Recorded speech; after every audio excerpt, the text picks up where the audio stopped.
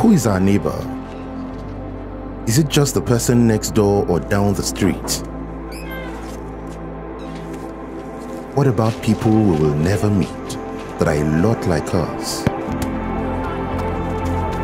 We aren't that different after all. We all have similar hopes and dreams and desires.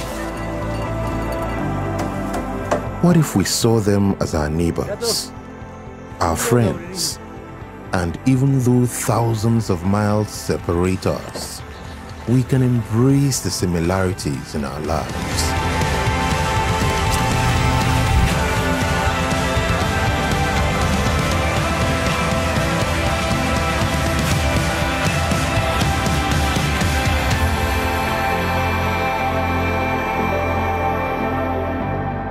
We all struggle.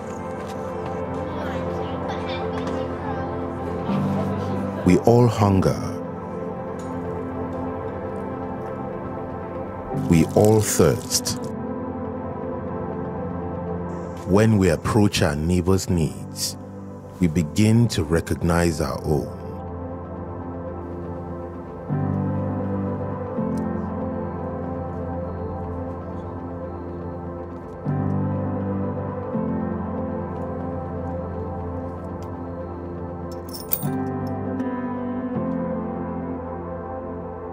Hello, neighbor.